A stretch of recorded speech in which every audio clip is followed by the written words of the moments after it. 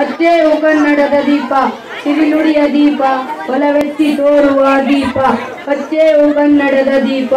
ಪ್ರತಿಯೊಬ್ಬರ ಕನ್ನಡಿಗನ ಮನದಲ್ಲಿ ಕನ್ನಡದ ದೀಪವನ್ನು ಹಚ್ಚಿದವರು ಡಿ ಎಸ್ ಕರ್ಕಿಯವರು. ಪ್ರತಿಯೊಬ್ಬರ ಕನ್ನಡಿಗನ ಮನದಲ್ಲಿ ಕನ್ನಡದ ದೀಪವನ್ನು ಬೆಳಗಿದ ಅತ್ಯಂತ ಸಮನಾಯಿತಶೀಲ ಕವಿ ಡಿ ಎಸ್ ಕರ್ಕಿಯವರು. ಕನ್ನ ಕರ್ನಾಟಕದ ಮನೆ ಮನೆಗಳಿಗೆ ಹೋಗಿ ಕನ್ನಡದ ದೀಪವನ್ನು ಹಚ್ಚಿದವರು.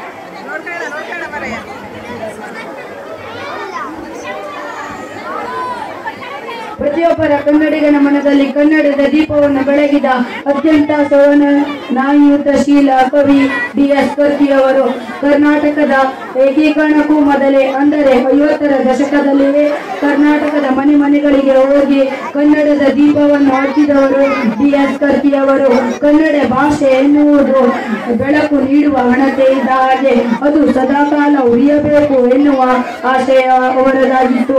ಅದು ಆರದಂತೆ ನೋಡಿಕೊಳ್ಳುವ ಜವಾಬ್ದಾರಿ ಪ್ರತಿಯೊಬ್ಬನ ಕನ್ನಡಿಗನದು ಕನ್ನಡಿಗನದು. ಎನ್ನುವ ಪ್ರತಿಯವರದು ನಿಜ ಹೇಳಬೇಕು ಅಂದರೆ ಅಜೇವು ಕನ್ನಡದ ದೀಪ, ಅಜೇವು ಕನ್ನಡದ ದೀಪ. ಒಂದು ರೀತಿಯಲ್ಲಿ ನಾಡಗೀತೆಯಾಗಿ ಹೋಗಿದೆ. ಕರ್ನ, ಕನ್ನಡ, ಕರ್ನಾಟಕ ಹಾಗೂ ಕನ್ನಡದ ಘನತೆ ನೂರಾರು ಕಾಲ ಉಳಿಯಬೇಕು ಎನ್ನುವ ಆಶಯ ಕರ್ಕಿಯವರದು. ಕನ್ನಡ ಸಾಹಿತ್ಯ ಕಂಡ ಅನಗ್ರತ್ಯ ಬಿ ಎಸ್ ಕರ್ಕಿಯವರು. ಧನ್ಯವಾದಗಳು.